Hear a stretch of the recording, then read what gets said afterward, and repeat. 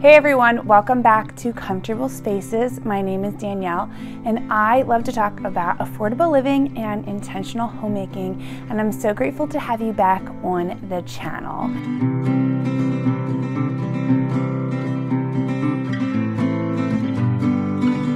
Today we are going to be talking about our kitchen remodel. Now, when I say kitchen remodel, what I truly mean is a cosmetic remodel. We did not take out any of our cabinets. We did not replace any of the appliances.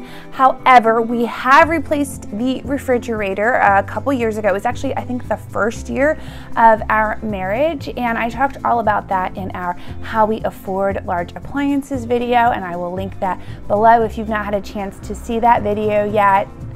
But we did a full cosmetic remodel of our kitchen over the past few years, and I absolutely love how it came out. Now, when we first bought this house, uh, just over nine years ago now, the kitchen was fine. We actually really liked the kitchen. It was very bright and airy. It had just a nice flow to it, it felt like, and it had some nice character too. There was a lot of beautiful molding all over it. It had an exposed brick wall on the one side where a fireplace had been, like a chimney situation um, had been at one point. point, and we really loved the design of it. And it was one of the things that actually sold us on this house. However, there were definitely updates that we wanted to do to make it feel more like our own. There was no backsplash. The colors were definitely not our colors. The colors were like a limeish, sort of light Easter eggy green, and a pale buttercup yellow. And there's nothing wrong with those colors. They're just not my color. It made everything in there look and feel yellow. And I just, like I've said before in multiple other videos, like more of those beachy tones. So we wanted to kind of transition into a lighter, brighter kitchen. Even though it was already light and bright, we wanted to give it some different colors. And we also wanted to add some little high-end pieces that would make it look that much better. So with all that being said, let's get into the video and I will go over all the different updates and changes that we made in our kitchen. So the very first update that we actually made was our kitchen fan. When we bought our kitchen, the fan was old and outdated, and honestly, it kind of sounded and felt like it was gonna fall apart at any minute. So we had had the same fan in the kitchen for about five years before we decided to update it. And so our bathroom on our second floor is directly above our kitchen. And there would be times where the floor of the bathroom would actually be shaking because it felt like this fan was going to fall right off of the ceiling. The screws were all coming loose. It just was not in good condition. And like I said, it was outdated, so we wanted to update it. So the very first thing we did was we went over to Home Depot and we bought a beautiful new fan. Not only did we get something that we felt like like had a little bit more updated character to it and would fit the space nicely, but we also got something with a little bit more power to it as well because we wanted to be able to make sure that when the fan was on high mode in the kitchen, it helped to air out some of the heat that the oven and the stove let off and also help push the air through from the windows so there's a nice breeze in the kitchen. So we wanted to make sure it had a higher power rate as well. We actually do not have central air in this house. We have ceiling fans and we have um, window units of air conditioning in the summertime. And the window unit that we keep for the downstairs floor is in our dining room, so it doesn't directly hit the kitchen. So the fan was really important to us. We wanted to make sure that it was going to be in a good place and it was going to work well for the space. So we got this beautiful fan from Home Depot and I will link it below if you're interested. Hopefully I think they still have it online and you can go check that out. The very next thing we did in this remodel was paint all of the trim. Like I said, the kitchen itself was like a buttercupy yellow and uh, an interesting like kind of it really wasn't minty green. It was like a limey minty green. It was just not really my favorite color palette. So not only had they colored the, or painted, not only had they painted the cabinets as buttercup yellow, but they painted all of the trim the buttercup yellow as well. And it could be a really nice color, but it just sort of felt like a, like a dingy white again, kind of like I had explained in our basement remodel video.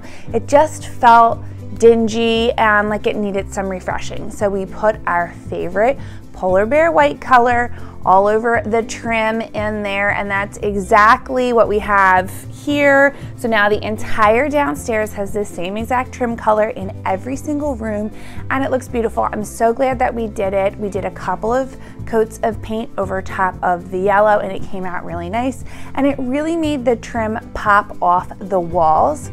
And speaking of the walls, the next thing we did was paint the walls a beautiful gray color. It's actually the same exact color that we got from Sherwin-Williams um, that we used in our bedroom. I absolutely love it. I do not remember the name of the color, but I will definitely link it below so that you know if you're interested. I love the way this color came out. First of all, when we used it originally in our bedroom, I think I tried like 50 different grays, not to be like 50 shades of gray, but seriously. I tried like 50 different gray colors all over the walls to try to get the best tone of gray. And I wanted something that had an obvious color to it, but was very, very soft, light, and muted. And that's exactly what I found in this color.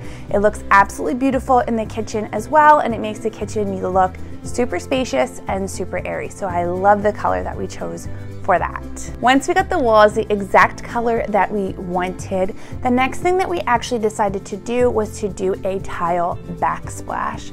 Now, I know that these can cost a lot of money, but actually we saved a ton of money by going to Habitat for Humanity's Restore Store.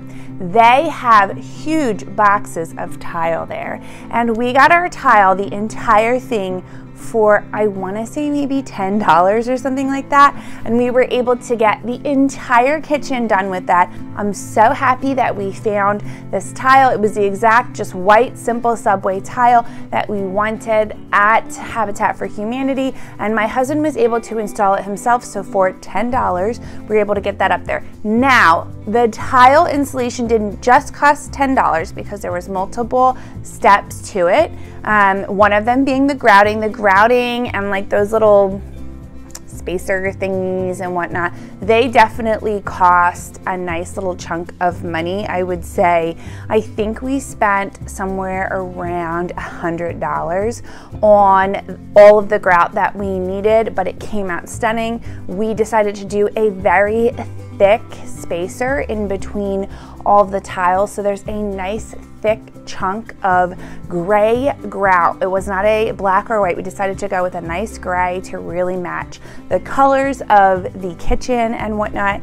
And I love the way it came out. It's super bold, super dramatic, and it gives some just nice detail to the kitchen. We just had a wall before and the previous owners had changed the countertops out and did like that little countertop like I don't know, bar thingy of the matching countertop on top of the countertop on the wall. And it looked fine. It just kind of looked cheap. So taking that out and installing the tile ourselves made such a huge difference in the room. And like I said, that was like, I think $110 total for all the supplies. So I was really glad that we looked at Habitat for Humanity. So if you're interested in doing a project like this, definitely look to see if there is a restore store around you. We get so many products from them that are so cheap and so helpful in doing different um, projects around the house. So after we were done with the painting and the tile, we decided to replace the lighting right over the sink for a couple of different reasons. One, it was an older track lighting system. It just, again, didn't really fit the space anymore. And two, at one point in time, my husband put a light bulb in it that I don't think was the correct wattage, and it actually started to chip and melt the uh, coating around the light fixture itself. So it looked terrible. It really needed to go and we wanted something to match the fan. And this is the funny slash interesting part.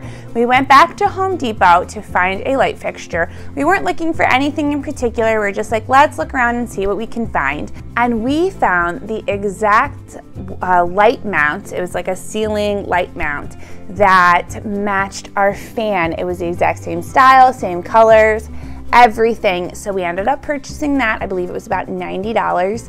And we stuck that right up on the ceiling. And now the entire kitchen, kitchen lighting system looks beautiful. It matches, it flows well. It's kind of like a cagey style look and then has like older Edison looking bulbs in it. It looks so cute and I'm really happy with how all of our lighting came out. And between the fan and the extra lighting piece, I think combined we paid about $210 for the two pieces.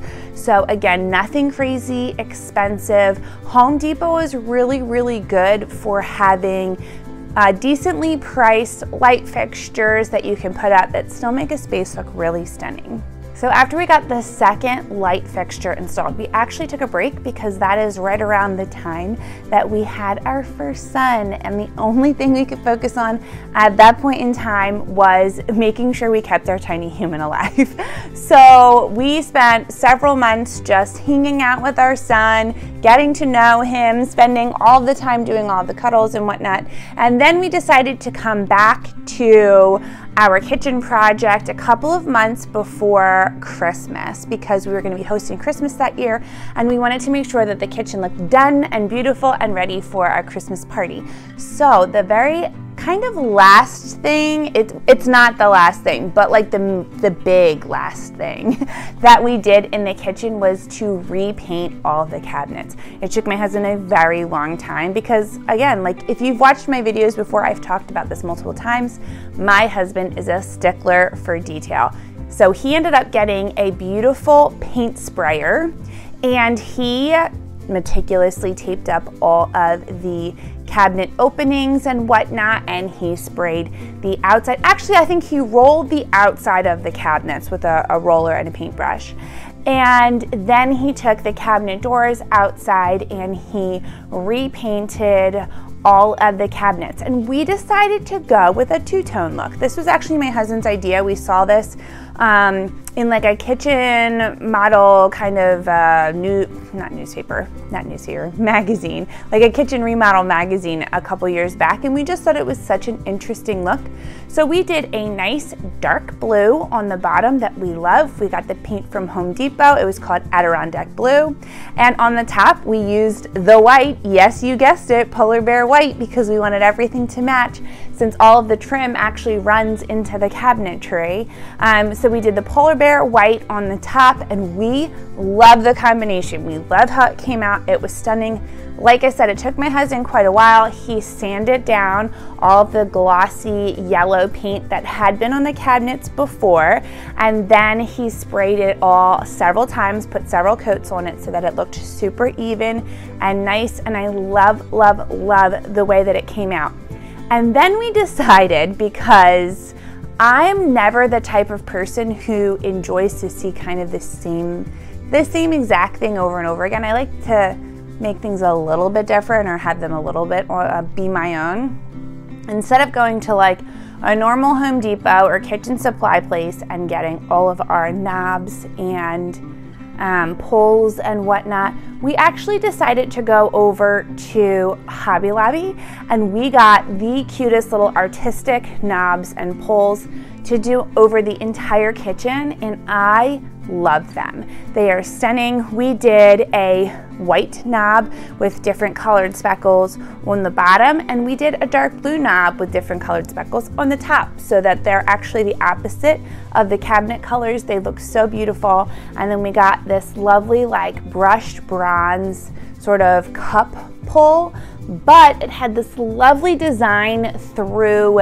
the pull itself. It's just so artistic and it just gives the kitchen a fun little bit of flair. I will link those knobs and pulls in the description below if you're interested in looking at something like that. I believe they still have them at Hobby Lobby because we just got them a few months ago.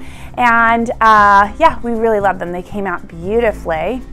And like I said, that was the last big thing we did in the kitchen. But the very last little thing we did in the kitchen, we just did a month ago, was replace the faucet to get an oil brushed bronze um, faucet. Now, I've talked about the oil brushed, oil rubbed, however you want to call that, oil rubbed bronze. I've talked about that in a couple of my other videos before. I definitely mentioned it in my basement video, which I will also have linked below. But we did all of our knobs and fixtures downstairs in that color. And I'm just trying to keep that consistent look throughout the whole house. So we changed the faucet. The faucet that we had previously was beautiful but it was old and dripping and we weren't able to fix the old faucet as it stood the way it was. So we just ended up purchasing a new faucet and we got a beautiful Moen faucet, brand new, never had been used off of Facebook Marketplace. It is a $1,000 faucet that we got from a gentleman on Facebook Marketplace for 300 bucks. So we thought that was a fantastic deals. I did not know until we started doing all of this faucet chopping because we also have to change the fixture up in the bathroom as well. I did not know how crazy expensive faucets are. They cost so much money and I'm like, it's just a, I just little, I turn, I turn the knob, I just turn it. That's all I gotta do. I don't understand water, water, it just pours out. I don't understand why you're charging me a thousand dollars for that. So I'm really, really grateful that we found that phenomenal deal off of Facebook Market. It was the exact piece that I was looking for, that I wanted, the exact style that I wanted, in the exact color that I wanted. So I'm super glad that we found that and we had that installed by our plumber and it looks stunning. I'm so grateful for how everything came out and it looks absolutely beautiful. So the kitchen overall is just more inviting. It fits the house. So we had repainted the living room and the dining room and the bathroom down here when we first moved in. So everything was the same color palette, everything flowed nicely together. And then the kitchen was sort of this oddball out, didn't really match the rest of the first floor sort of feel. So I am so grateful that we finally finished this entire kitchen upgrade, remodel, cosmetic upgrade because it looks so, so beautiful now that we were able to fix it all up. So I just absolutely love it.